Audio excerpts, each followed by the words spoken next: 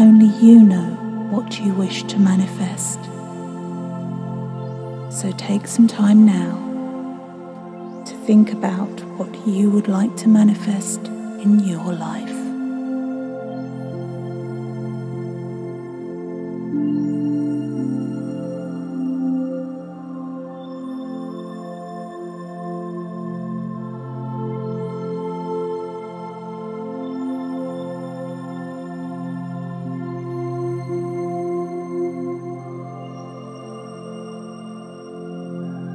Your heart's desire is very personal to you.